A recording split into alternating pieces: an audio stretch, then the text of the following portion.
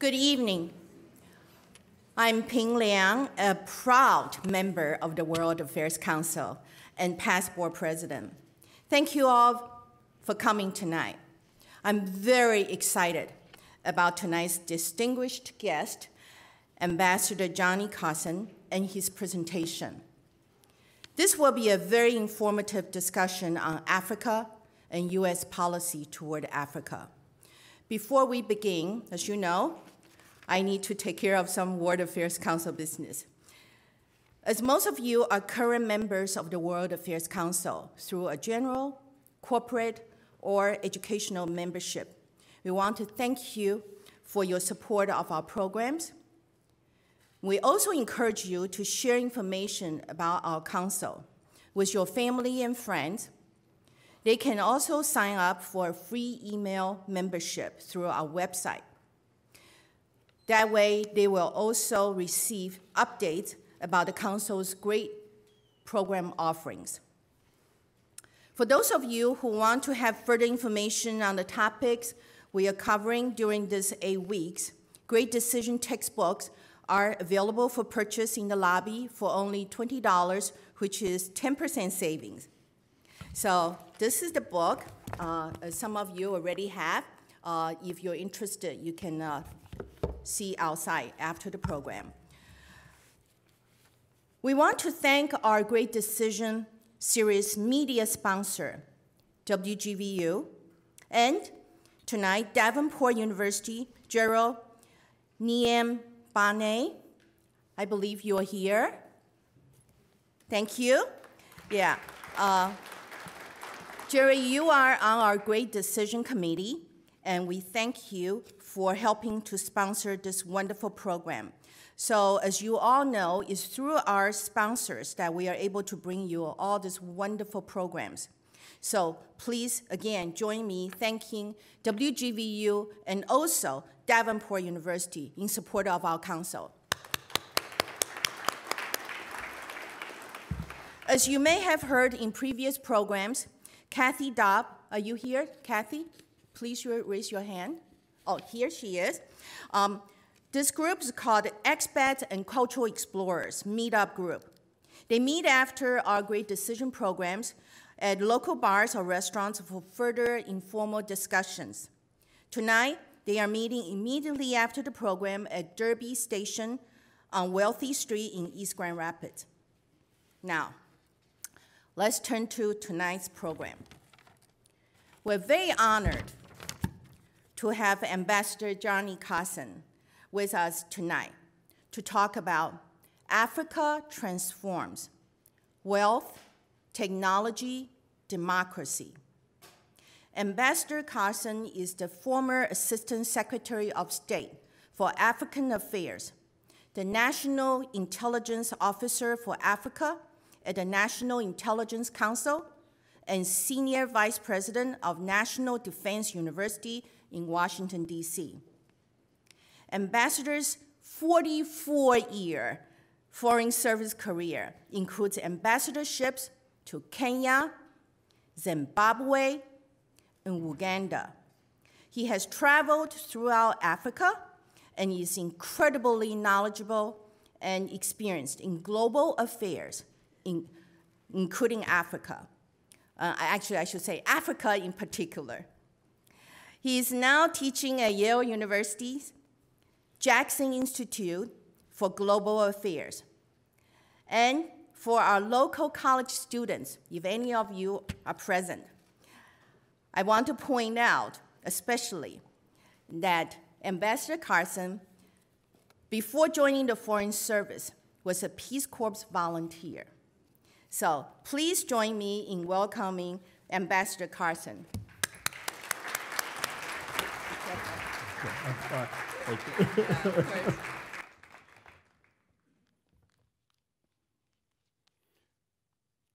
Ping, thank you very, very much uh, for that very kind and warm uh, introduction. Uh, I am uh, extremely uh, pleased to be here this uh, evening with all of you at the World Affairs Council of Western Mission, Michigan. Uh, I'm also uh, pleased to uh, be here uh, back in uh, the Midwest, which uh, I call home. and I'm especially pleased because I have an opportunity to talk with all of you about Africa, which has been a part of my professional life for much of the past four decades. Africa uh, is a extraordinarily large, dynamic, and diverse continent. A continent that is often misunderstood. Africa is increasingly a good news story, but the media usually does not reflect the continent's new and changing portrait. It does not report on the enormous differences that exist from one country to another or from one region to another. Nor does it capture the current and growing significance and importance of Africa to the United States and to the international community. Africa is changing rapidly, but much of the way Americans view the continent is caught up in a mixture of old stereotypes and frightening new headlines, of brutal military leaders from the past and recurring humanitarian disasters that are frequently portrayed in the news. Looking at today's papers, most Americans would point to the conflicts in Nigeria, southern Sudan, and the Central African Republic and draw an unfair conclusion about what is happening on a continent comprised of 1 billion people living in 54 separate countries and occupying a landmass that is three times the size of the United States. Let me share with you some of my observations about a continent that I have had the privilege of studying, watching, and working on for many, many years. While conflict, poverty, and disease continue to challenge various parts of this large area, this is not the whole story, and it should not be portrayed as the dominant one. Africa is a dynamic and exciting place, and the continent's trend lines are increasingly positive, not negative. Support for democracy in Africa remains strong and has continued to grow. Since the collapse of the Soviet Union in December of 1991, sub Saharan Africa has moved progressively into the Democratic column. And multi party democracy is the preferred form of governance all across sub Saharan Africa. Reliable and widespread polling data show that well over 75% of Africans support elected democratic governments. This can be seen by a number of studies. In 1973, Freedom House, one of America's leading international political advocacy groups, developed a matrix to measure whether a state was free, partially free, or not free at all. The designation free meant democratic. In the first year that that matrix was published, back in 1973, only three, only three African states were defined as free, and only nine others were defined as partially free. The others were considered authoritarian dictatorships, some under military rule. Today, that picture has changed dramatically. In 2013, Freedom House assessed that nine African states were free and that another 21 were partially free. And as the numbers reflect, numerous African countries have adopted new constitutions, embraced multi party democracy, established functioning parliaments and independent judiciaries, and in some states, impose term limits on their top political leaders. Elections, many of them monitored and observed by such organizations as the Carter Center, the National Democratic Institute, and the International Republican Institute, are commonplace across the continent. In just the past six months, probably something that did not catch the attention of anyone, probably in this room, but we have witnessed successful multi party democratic elections in Mozambique, in Malawi, Zambia, and Namibia. And the outgoing president of Namibia, having served two terms, was recently given a $5 million award as being one of the best leaders in Africa. This is in Namibia. In Mozambique and Namibia, the two former presidents were operating under constitutional term limits, and they stepped down after serving their required terms. And in Malawi, a sitting former president was defeated and stepped aside peacefully. No military interventions, no police on the street. And certainly over the past six years, we have seen similar peaceful democratic transitions play out across the continent. In West Africa, in Senegal, where opposition leader Macky Sall replaced, President Abdoulaye Wade, and in Ghana, where Vice President John Mahama replaced the late John Atta Mills. And we have seen countries that have strayed from the democratic path, like those in Mali and Madagascar, revise their constitutions, hold new elections, and select new leaders. Women have also benefited from Africa's growing democratization. In Liberia, Ellen Johnson Sirleaf is currently in the middle of her second term as president of that country. And in South Africa and Uganda, prominent female politicians have been elected to serve as their country's parliamentary leaders.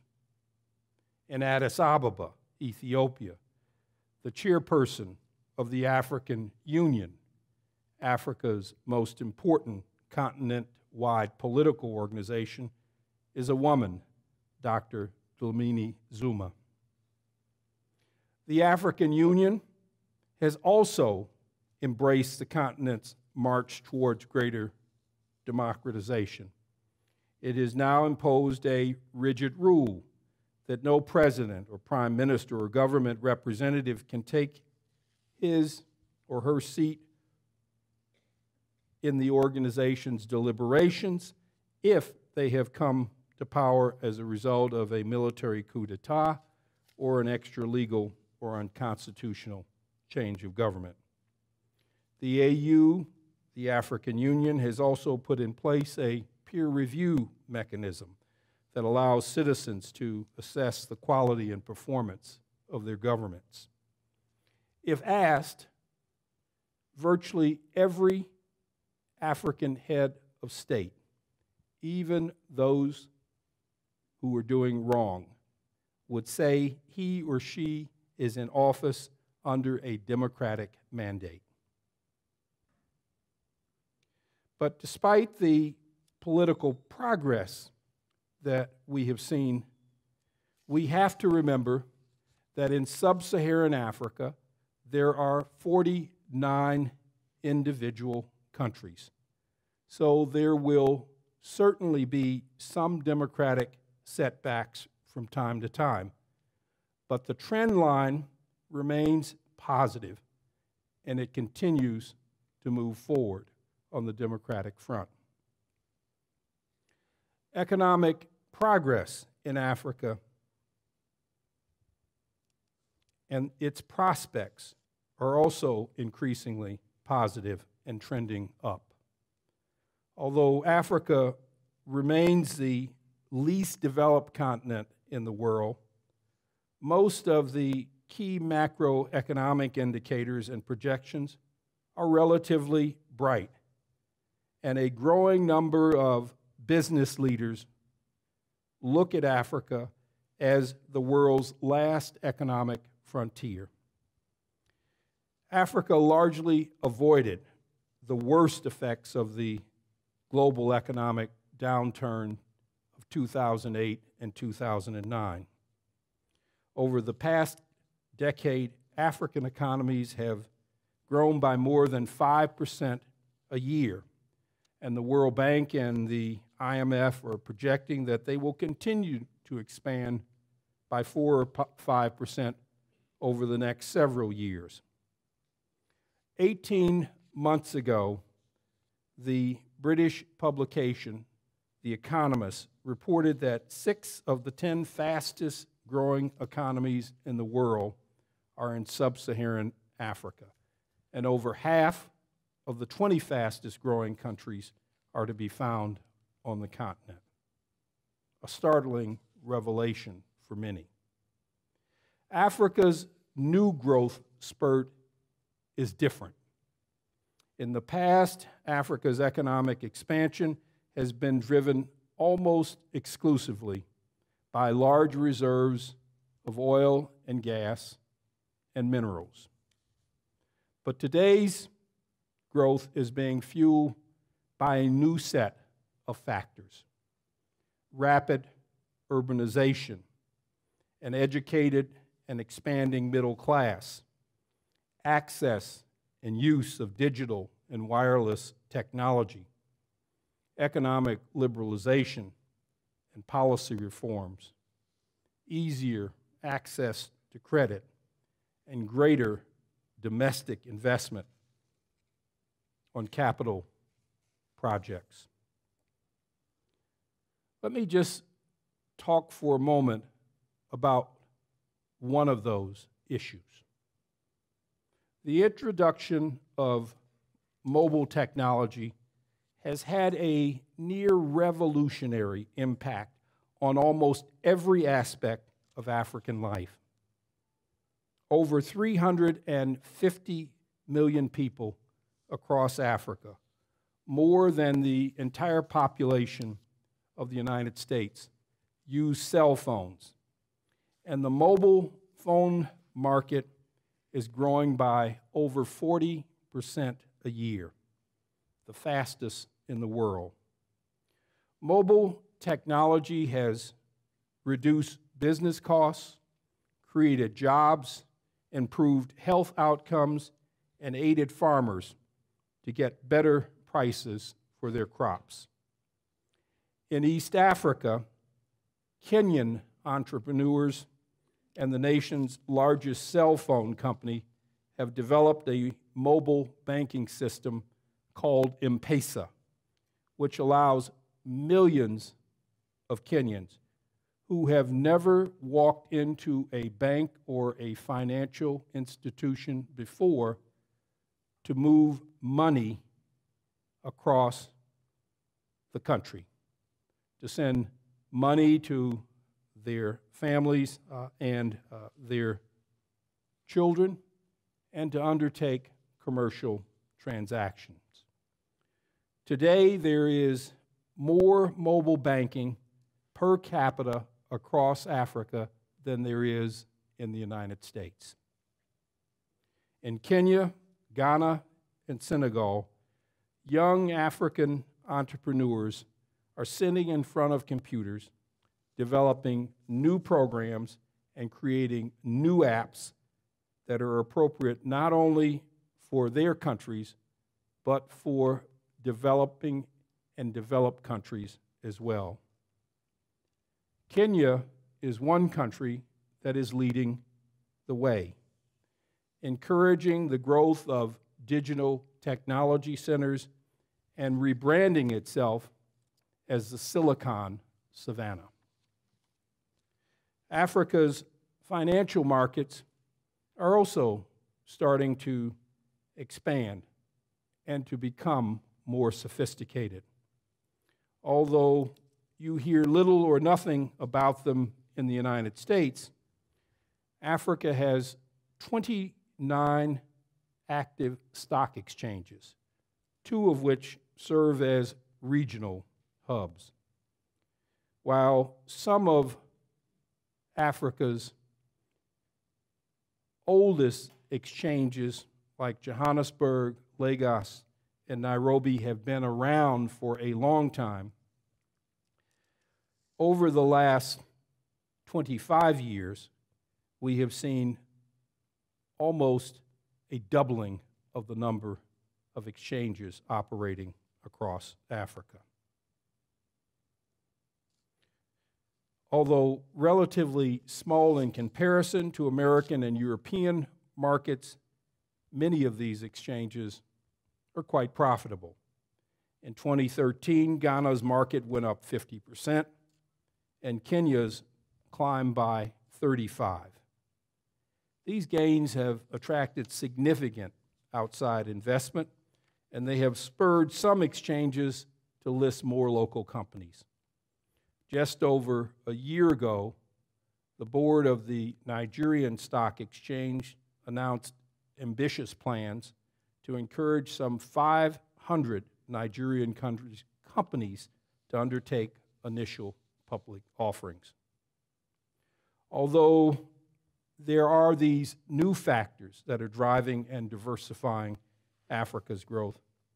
Recent new oil and gas discoveries along the coast of Mozambique and Tanzania, as well as offshore of Ghana and Liberia, are contributing to widespread optimism about the continent's long term economic future the successful development of these new oil discoveries should contribute millions of dollars to the economies of these countries. In Mozambique, long regarded as one of Africa's poorest states, natural gas discoveries could make it one of the world's largest exporters of liquefied natural gas over the next 15 to 20 years. Officials at the U.S. Geological Survey in Washington estimate that there are between 100 and 250 trillion cubic feet of natural gas in the coastal waters around the border of Mozambique and Tanzania. The successful and transparent exploitation of these new resources could transform the economies of both of these countries and dramatically improve the lives of their citizens. But to ensure its long term economic success, Africa will have to do at least four things bring corruption under control, expand its global and regional trade, increase its manufacturing base, and improve its opportunities for girls and women.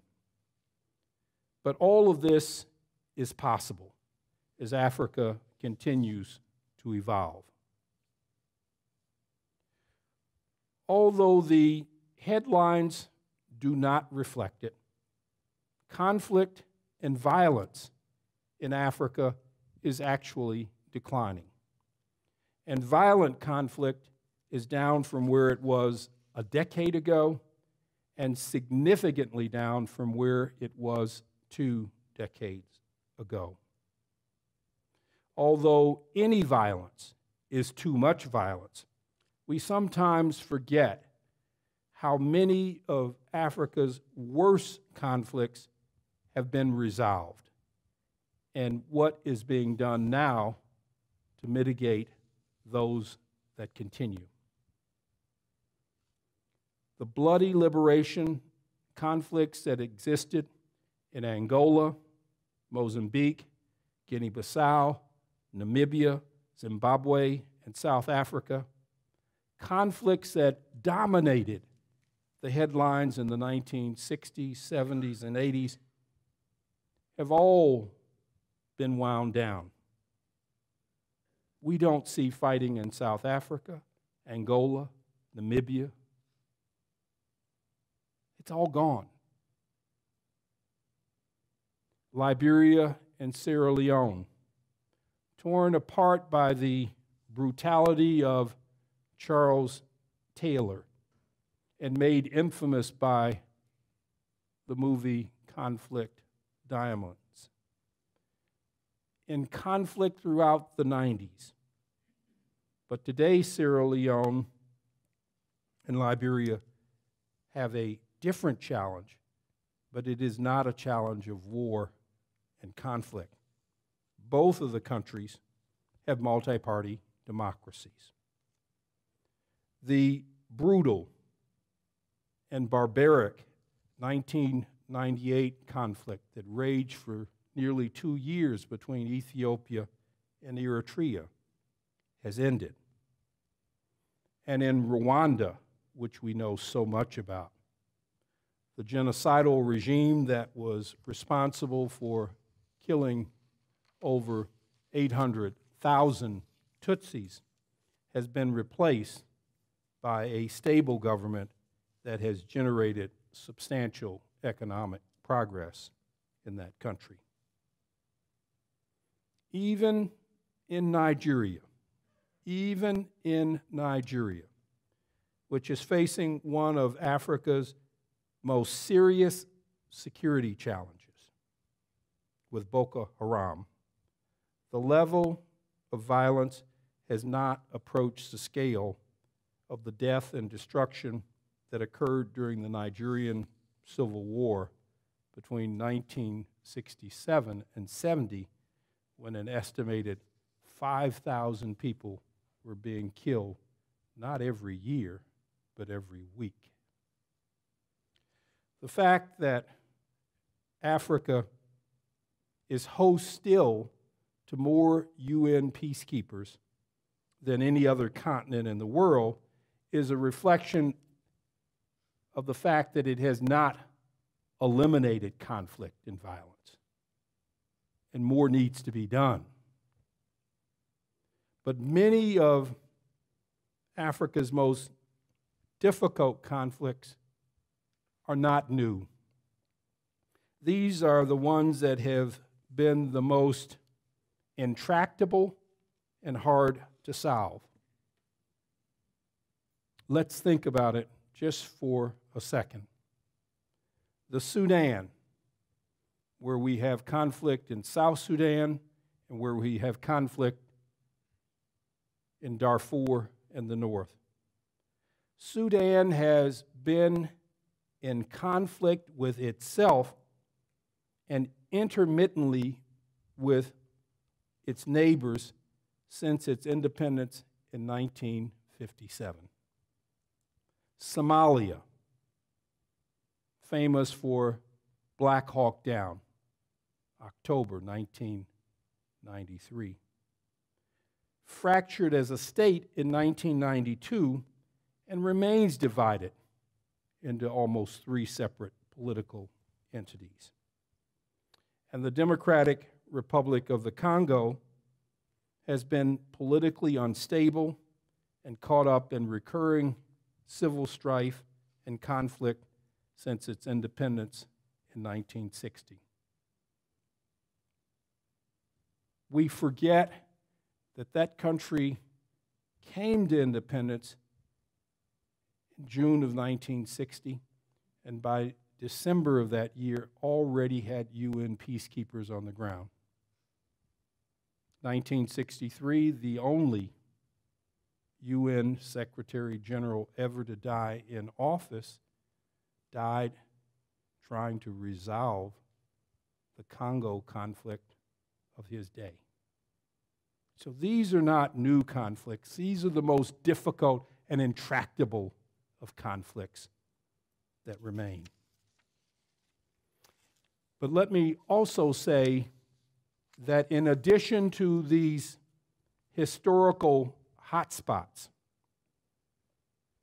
several regions in Africa are facing a new threat, a new threat from radical extremism. Some of this extremism grows out of the failure of governments to deliver services their failure to respond effectively to perceived political and economic grievances, and to their inability to provide security and stability.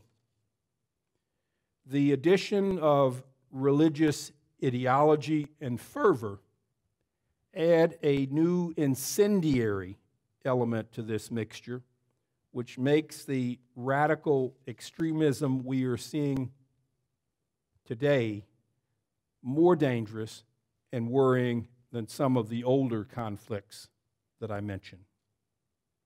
In East Africa, Al Shabaab continues to threaten the stability of Somalia uh, and to carry out bloody terrorist attacks against Somalis, Somalia's neighbors. In West Africa, Boko Haram has been engaged in increasingly ruthless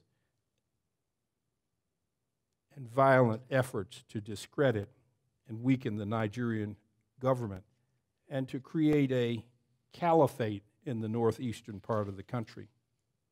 Boko Haram's activities have spread across the border and now threaten three of Nigeria's neighbors in Chad, in Niger, and Cameroon.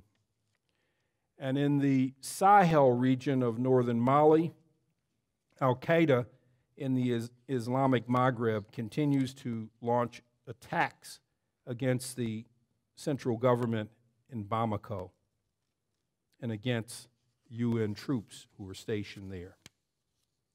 Over the next decade, Africa's historical hotspots and its new outbreaks of violent extremism will require the active attention of the United Nations, the continued diplomacy of the United States, and other members of the global community. But the continuation of these conflicts should not define how all of Africa's 49 sub Saharan states are seen by the rest of the world. Just as the long standing conflict in Yugoslavia a decade and a half ago did not define how we viewed Western or Central Europe. It is certainly time for all of us in the international community to take a more sophisticated view of Africa, its complexities, its size, its differences. As a nation, we in the United States have strong and enduring interests in Africa. Those interests are first and foremost historical. But we also have important economic, political, and security interests And those interests are likely to grow as Africa's importance grows. Africa, as I mentioned earlier, is considered by many as the world's last economic frontier. And the continent's population is slated to double by 2050 and to double again by the end of this century. American companies have always been major players in the oil and gas sector and in the sale of aircraft, locomotives, large generators, sophisticated medical equipment. But Africa's new economic and commercial opportunities extend beyond hydrocarbons and the sale of capital goods. And many American investors and businessmen have not been aggressive in seeking out opportunities in Africa.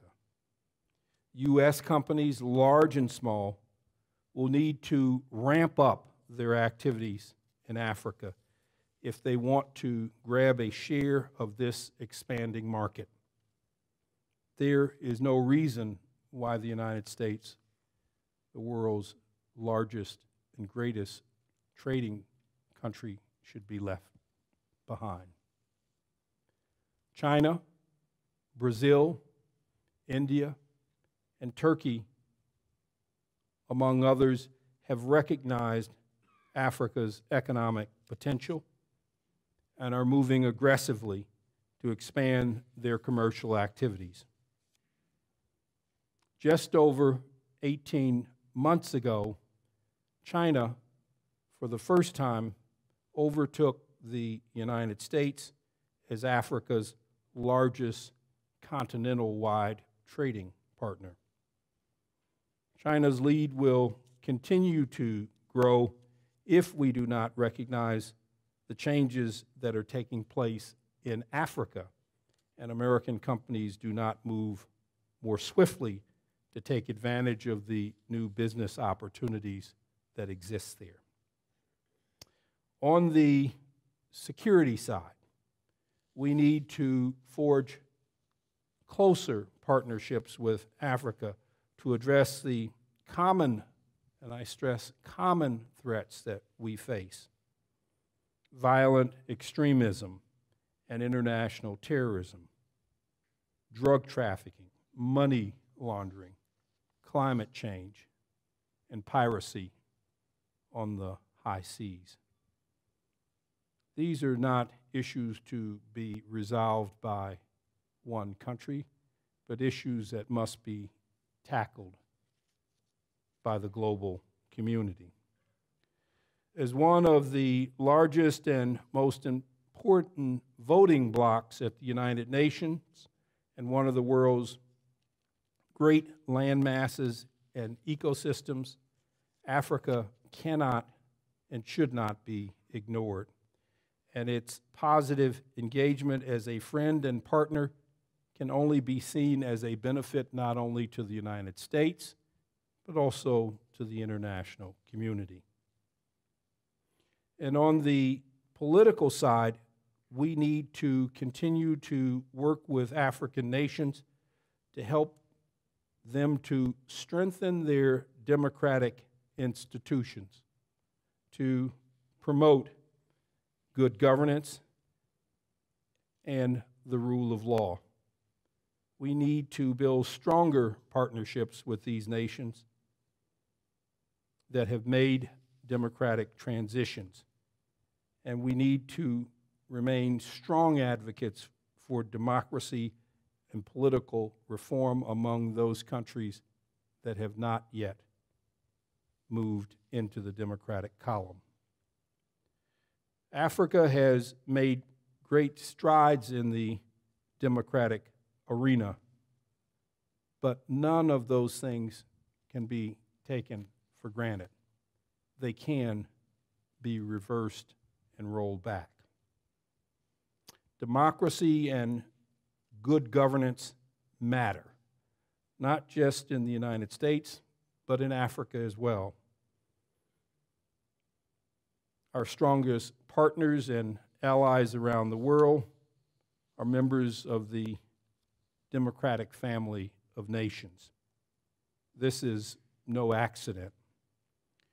Democracies protect the individual civil liberties of their citizens, as well as the intellectual property and corporate rights of their companies. Democracies are accountable to their citizens and they operate under the rule of law. Supporting democracies in Africa is in our interest in both large and small ways. And this is why uh, the President administration in Washington has made democracy its number one policy priority over the past six years. In addition to promoting democracy, the administration is focused on strengthening peace and security, expanding trade and investment, and advancing social and economic opportunity in Africa. In furthering its overall policy, the administration has launched three initiatives which are intended to deal with Africa's most serious issues in agriculture, electrical power generation, and public health. It's worth saying just a few words about those three issues. Agriculture should be one of Africa's greatest assets. The continent has 60% of the world's uncultivated arable land mass and a half a dozen of the world's greatest rivers. However, agricultural productivity per acre is one of the lowest in the world. And yields are low because African farmers depend heavily on rain fed agriculture. They use less fertilizer. They plant poorer seed stock. And they employ outdated farming methods. But the administration, through its Feed the Future program, is committed to trying to generate a green revolution in Africa, similar to the green revolution that transformed agriculture in Asia and Latin America in the 1960s and 70s. Improving African agriculture will raise incomes, reduce household poverty, prevent food shortages and famine, and generate greater income for farmers. Energy. There is also a very strong commitment in Washington to help Africa address its energy needs. No continent and no country can develop without power. And Africa today is the most energy deficient continent in the world. More than two thirds of Africans live without electrical power, and nearly 85% of the rural population lacks access to electricity. Many of Africa's major cities suffer frequent power outages and lack adequate generating capacity. This means factories without power, schools without light, and hospitals without functioning medical equipment. President Obama's Power Africa initiative is intended to double power access in Africa over the next five years, working with the private sector in six key countries. The plan is intended to add more than 10,000 megawatts of power to the African grid, which should provide power to some 210 million African households. A much needed boost in energy for a continent short of it. And public health. Public health remains weak and uneven across Africa. The recent Ebola crisis in Liberia, Guinea, and Sierra Leone is a clear demonstration of this point.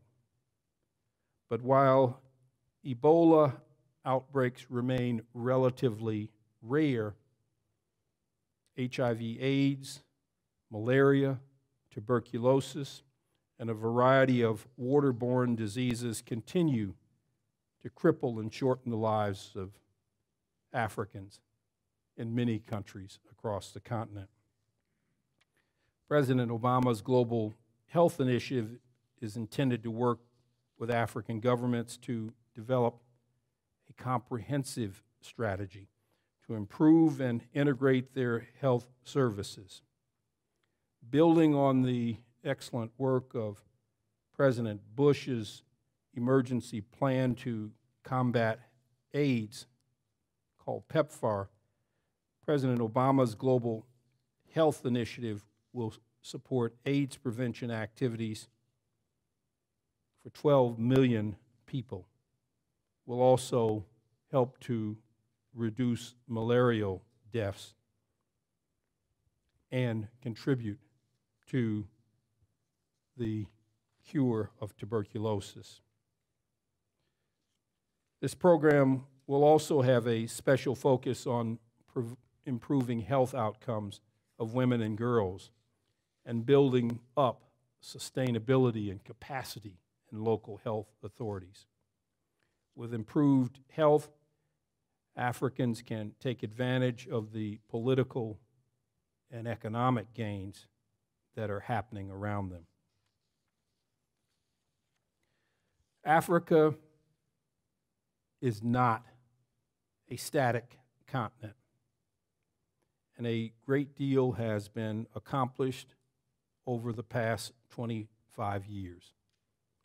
But challenges, large and small, remain, and we should expect that there will be setbacks as well as gains in individual countries and regions. But the trajectory remains positive.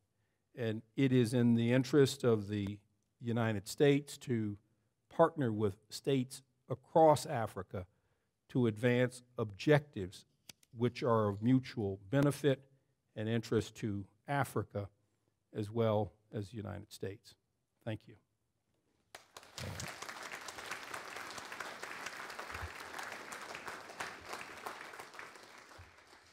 Thank you, Ambassador Carson. Um, right now, we'd like to start the Q&A portion that we usually do. Um, you can come down to the mic over there or over here if you'd like to ask a question in person. Please keep them short. I know everybody likes to talk about how they have something in common with our speakers, and we love that, but we're limited on time. Um, or you can text my phone here, and we'll take your text questions. But I'd like to start off, I had a couple come in already. Um, one question was, you described the AU the African Union. Um, is this developed much like the European Union, and what are the similarities and differences between the two? Are they as organized as the EU, or um, are they getting there? I mean, uh, a great uh, a great question. They are not uh, as well organized uh, as the uh, European Union. Uh, the European Union is probably the most uh, sophisticated uh, uh economic uh, integration of individual states, regional states in the world. the European Union has a common currency, uh, with the exception of Great Britain, which continues to use the British pound. Uh, It has a common set of uh, immigration policies which allow the citizens of one country to move across the border without uh, a, uh, a travel document. It allows for the free mobility of uh, labor, uh, and it has uh, virtually reduced completely uh, any tariffs and customs duties on goods. All of those things that I mentioned for the European Union do not, in effect, uh, exist uh, within the African Union. Uh, But uh, the African Union uh, is a political organization which is trying to promote greater political, sub-regional, and economic integration. Uh, It has a long time to go uh, before it gets to uh, the stage of the European uh, Union. Uh, But one of the important steps that they have made over the last uh, 15 years is to uh, uh, allow the organization to criticize bad political leadership in other African countries, something that was not done very much uh, before the last decade. Okay, go ahead. You mentioned Boko Haram a couple times, and recently they just pledged allegiance to ISIS. Do you think that will change their involvement in Nigeria or American involvement towards Nigeria and Boko Haram? Uh, I do not uh, think so. I, I saw the uh, report uh, that, uh, uh, Boko Haram had in fact pledged allegiance to, to, to, to ISIS. Uh, one thing is uh, absolutely true, and that is uh, Boko Haram in northern, uh, northeastern, and I should have, oh, we don't have the map up there. Oh, that- In northeastern, uh, northeastern Nigeria has copied a lot of the tactics employed by ISIS. Uh, They have uh, declared a caliphate uh, in the northeastern part of Nigeria. They employ suicide bombers, including young girls as young as 10 to 15 years of, of, of age. Uh, They've carried out uh, massacres uh, as well. And they've become quite sophisticated in the use of, of messaging and communication, uh, putting their message out uh, to the public very quickly. Uh, you've heard about it, uh, and the ability uh, of them to get that message out uh, has been more impressive than the Nigerian government's ability to get its message out or to be able to combat them. Boko Haram is a very serious threat to uh, uh, Nigeria, but it's also a very serious threat to Nigeria's neighbors, all of whom are weaker than Nigeria. Could you please speak to the activities of China in Africa? Yeah, uh, China um, i- has had a, a, a long history uh, with uh, uh, Africa, uh, and that history has changed uh, over time. Let me just go back a moment in time to say when China was extremely politically active across the continent. Uh, some of you will remember that uh, uh, up until uh, the uh, early uh, 1970s, that China was not only not a member of the Security Council, uh, but it was not, uh, in fact, um, uh, uh, a full-fledged member of, of the UN. Uh, the Security Council seat was held by the government uh, in Taiwan. In the 19, late 1960s and early 1970s, uh, the government in Beijing worked very, very hard to convince, probably at the time, the second largest voting bloc in the UN, the African nations, to support of the uh, legitimacy of Beijing's claim to have that seat. People forget that China was not a Security Council member until the mid 1970s. But one of the reasons they were able to take that seat from Taiwan is with African votes. One of their strongest supporters in that effort, and I'm going to, am I doing this right? It's not on, it's on now. There it is. One of China's strongest supporters was Tanzania in those days. And the, the Chinese rewarded, rewarded the Tanzanians by building one of the newest railroads uh, in Africa called the Tazara by some, the Tanzam by some, but the Tanzania Zambian Railroad was built by the Chinese almost as a thank you present for doing this. Then, for probably two decades, China turned inwards and started to focus on its own set of economic challenges. And over the last three decades, we've seen China grow as a strong industrial power.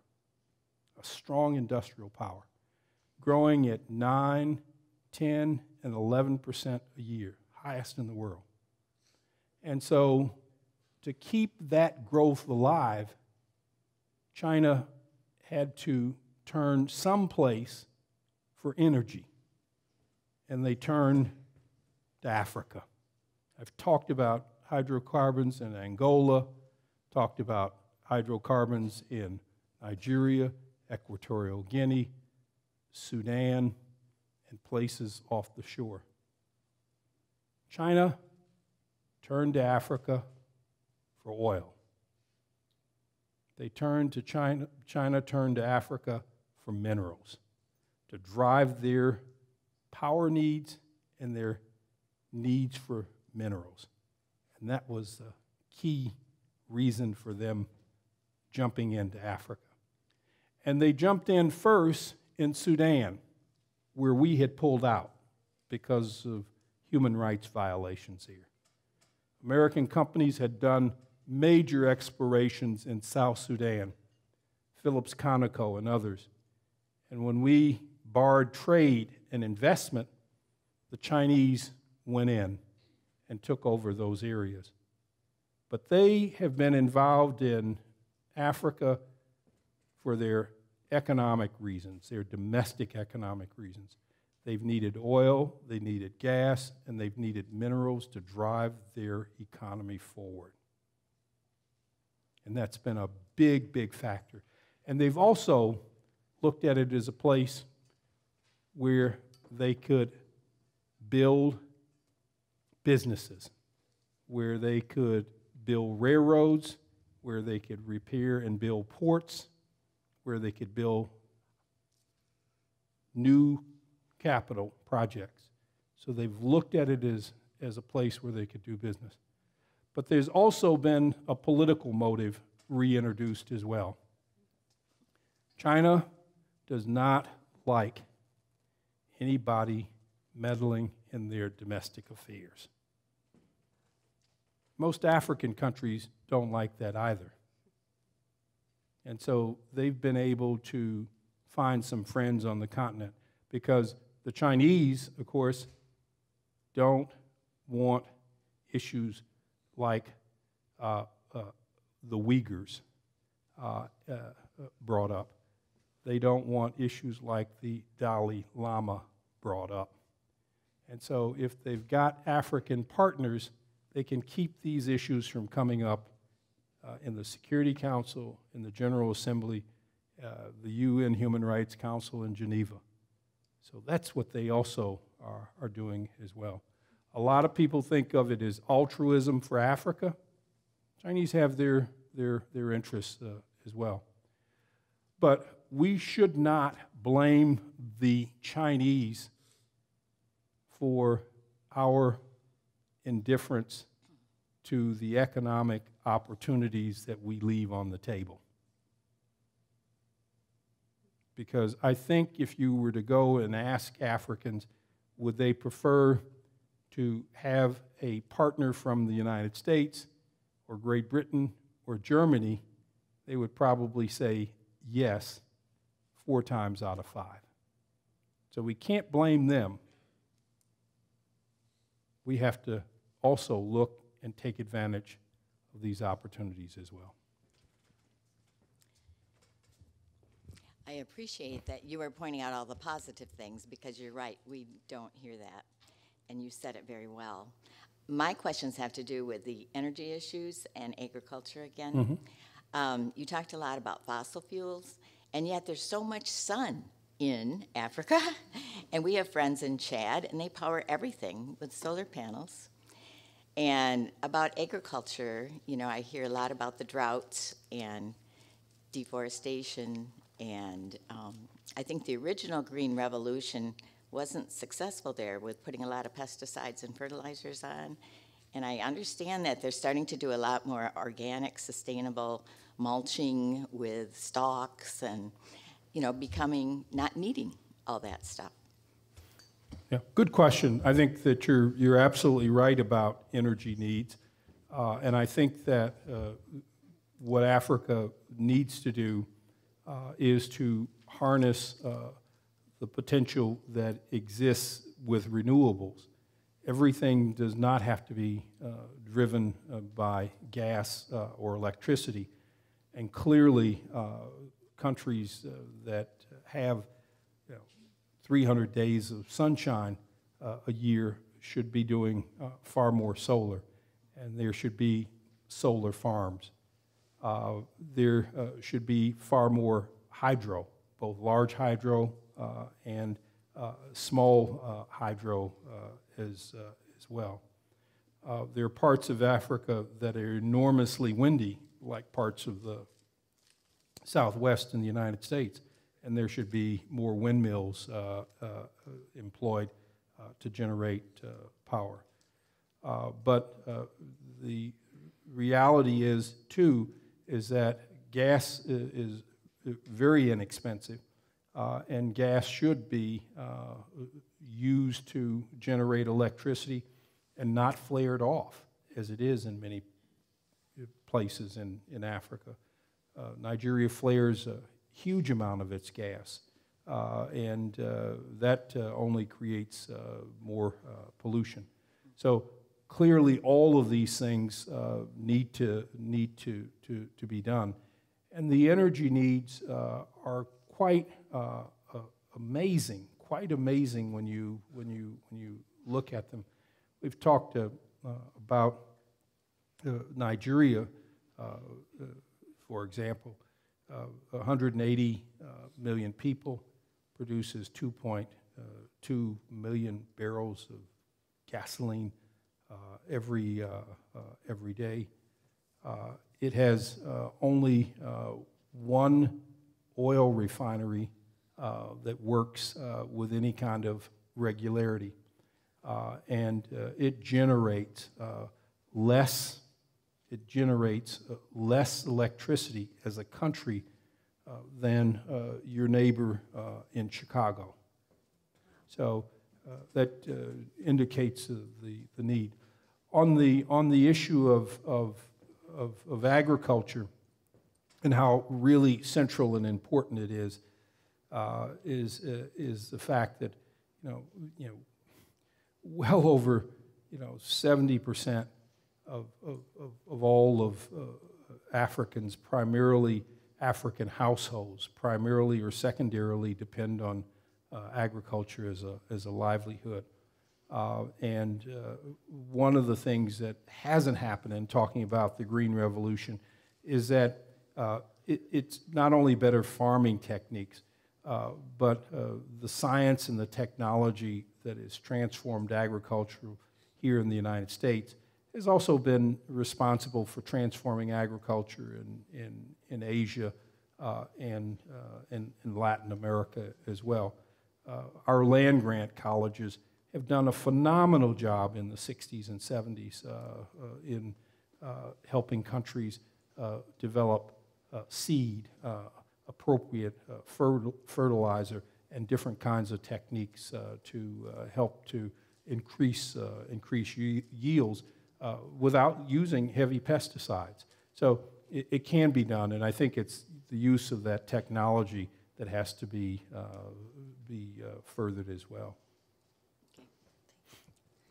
I have another te- text question. Uh, two parts. You talk about the growing middle class, but mm-hmm. can you describe what the middle class looks like in Africa in respect to the United States middle class? Are you talking the same thing, apples to apples, or does it look different? And then why do you think the U.S. is not seizing on the economic eh, opportunity and potential in Africa? Two good questions. Uh, the middle class would be uh, in Africa uh, described probably in technical terms uh, how many uh, people are earning uh, money uh, on a per capita basis above uh, a, a, certain amount a day. And yes, there is a growing middle class across, across, across Africa. Um, if you go into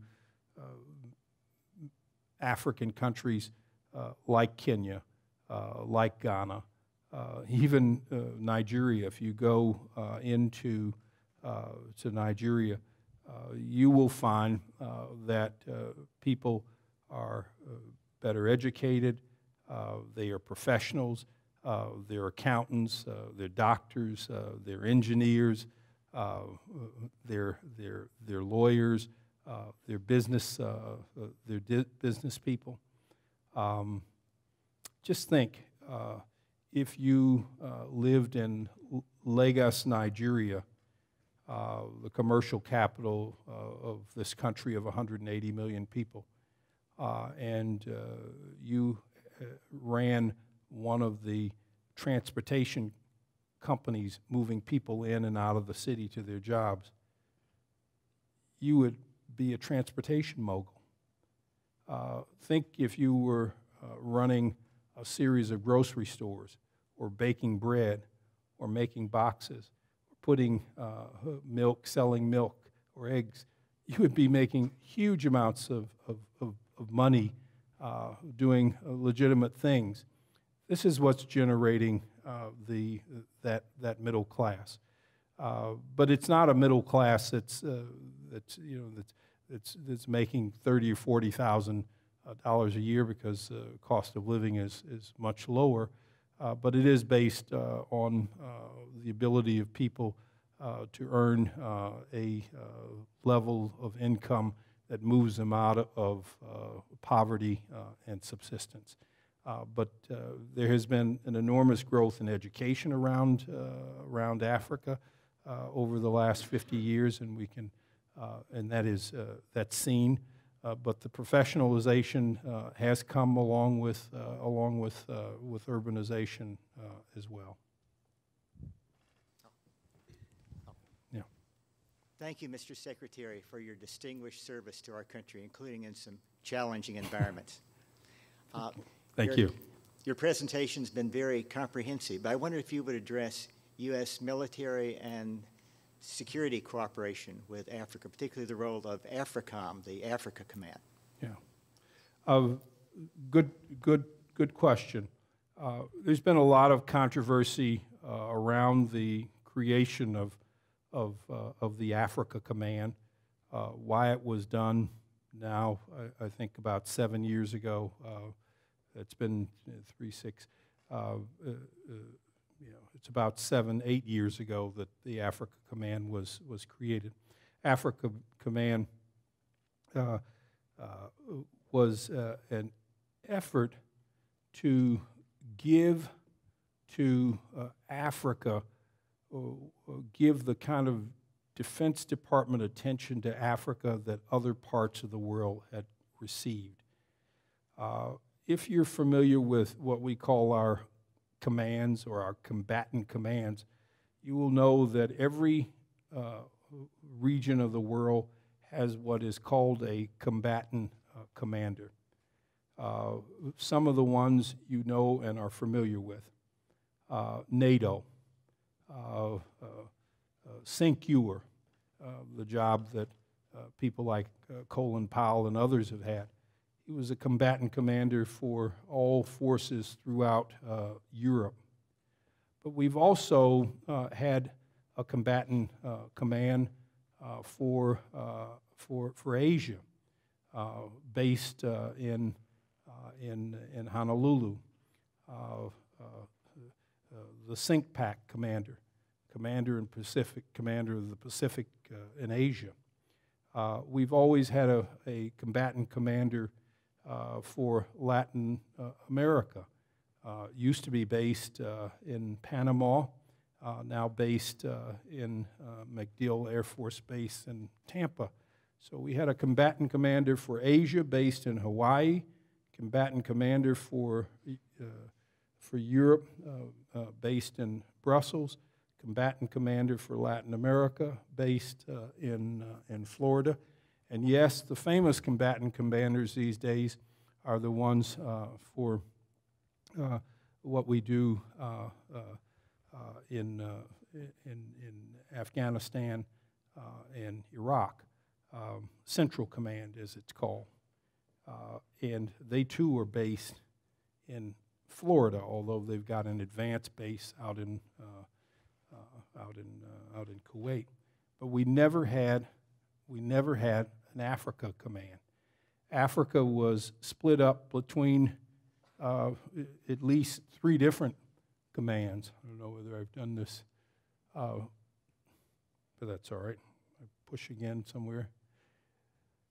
The Indian Ocean and the area from Kenya and Somalia and Ethiopia, this area and Madagascar, all uh, belong uh, to uh, the Pacific Command out in Hawaii. They were responsible for this.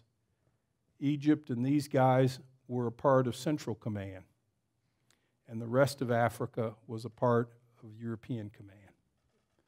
And so uh, it was decided that to generate greater efficiencies, uh, that uh, they would create a central command for Africa to match up with the other regional commands. And, and that was the, the origin of, of, of the idea. Create an Africa command that matched up with the other global commands uh, that we had around uh, the world. And that this command, of course, then would take responsibility for all of the activities uh, that went on there. Almost everywhere uh, that we are in Africa today, uh, we've got military attaches. Those military attaches are now under the command of Africa Command. Uh, we've long uh, had in many places around the continent military assistance missions, groups that were there to train and assist and uh, and help to uh, make African armies more professional. They also came under the rubric of, of, of Africa Command. Uh, and the creation of this command has made a lot of people extraordinarily nervous uh, because uh, they have looked at it as the militarization of America's policies uh, in Africa. And there uh, is uh, no doubt that everyone uh, is aware that we do have in Africa uh, a, uh, a, couple of uh, facilities that are increasingly well known.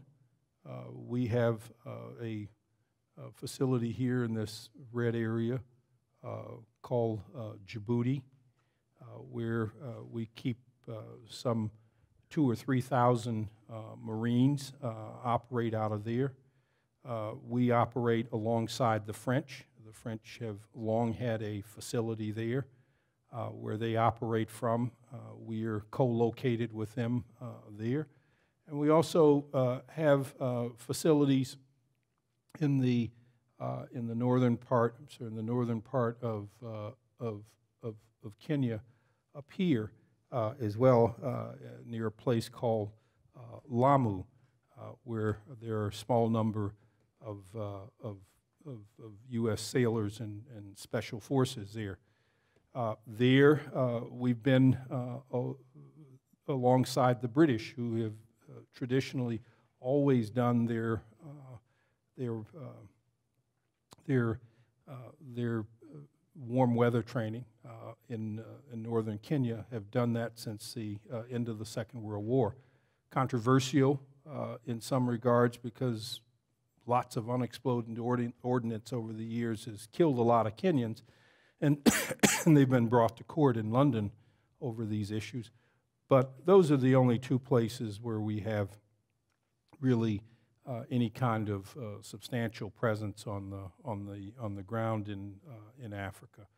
Um, we're not the only ones, as I say. The French have uh, facilities uh, in various places Chad, Cote d'Ivoire, Senegal, uh, where they have had uh, facilities for, for many, many years. Okay, last question. Last quick question, I guess. In your four decades of exemplary service as a Foreign Service officer, much of it in Africa, most of it in Africa, it seems, what do you hmm. regard as your most satisfying or proudest mo- experience? And how about your most challenging or difficult experience?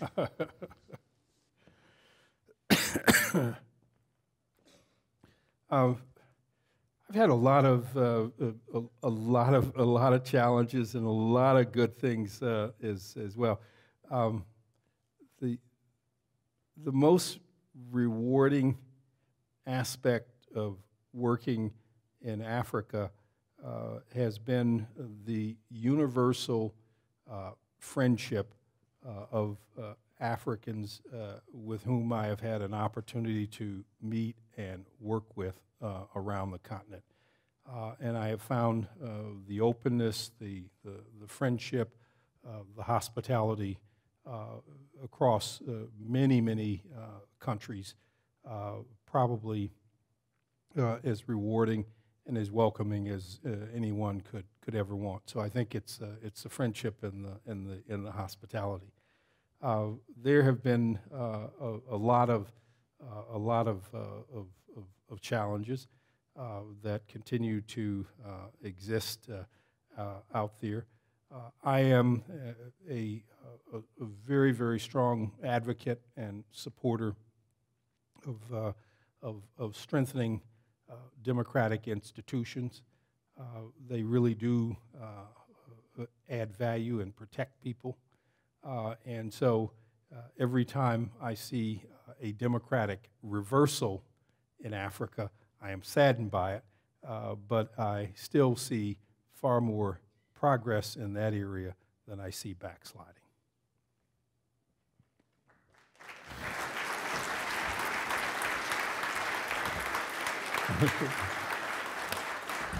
Thank you, Ambassador Carson, for a very balanced and most comprehensive presentation on Africa.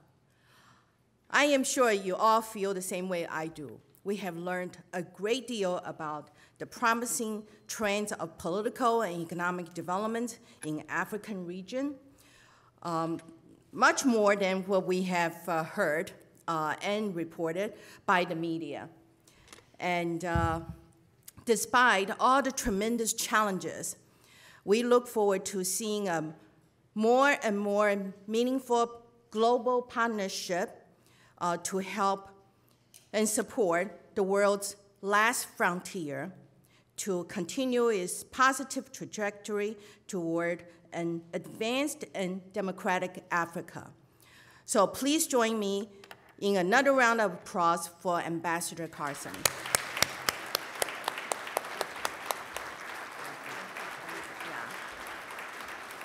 Next week, former US Ambassador to Brazil, Melvyn Levitsky will join us to discuss Brazil's metamorphosis. Please join us for another interesting discussion on March 16th. So our meeting is now adjourned. Thank you very much for coming. Good night.